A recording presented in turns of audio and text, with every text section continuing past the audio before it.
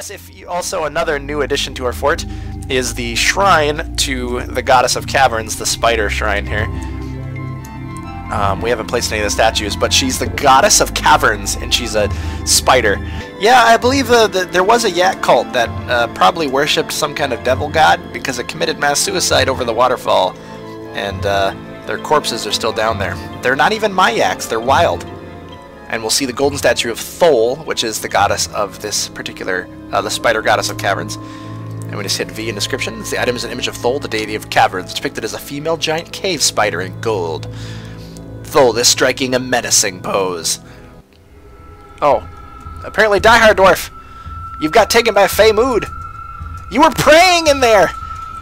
Oh my god, we had our first prayer in the uh, Dark Temple of Umbral. You were praying and suddenly you got possessed. The Queen of Darkness has claimed her first victim of uh, of craft. She, she sent something into his brain. There he goes. Oh, Die Dwarf Miner has created uh, Toreziscus, a Galena armor stand. He claims it as a family heirloom. Apparently, the spider god of caverns, whom uh, Dwarf was praying to, told him to make an armor stand, probably for some sort of demonic armor she's planning on uh, imbuing into his mind.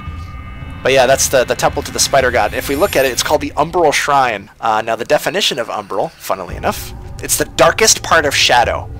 Fitting name for the spider deity of caverns, the darkest part of shadow. Underneath our main temple, she waits. And all who go into it are inspired by her dark visions. Let's take a look. holy buckets! This is worth 135,000 dwarf bucks. Now let's take a look at this item. Uh, so this is uh, what was inspired when Die Hard Dwarf was praying in the temple to the spider god, in the Umbral Temple, which I assume is not lit by any flame. It is always encased in pitch darkness, where the insane thoughts of the Spider Queen may enter the mind without any barriers of light.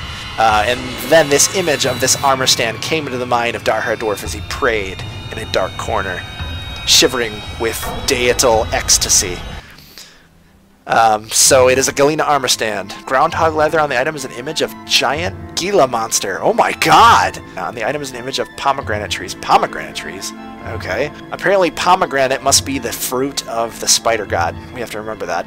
Pomegranate trees represent Thol, the fruit of her egg sacs, and within the eggs of her disciples. Oh my god, Flackaby! You are amazing! Yes! That explains it. Oh my god. From the dark pomegranate trees you find in her ethereal realm, where inside, uh, the waylaid traveler who is banished there may open it, thinking to find fruit, but instead is swarmed with millions of tiny spiders that eat his flesh. Ooh, I've got shivers. If I could draw, I would be drawing all sorts of stuff to Thol. Oh no, have I created a religion?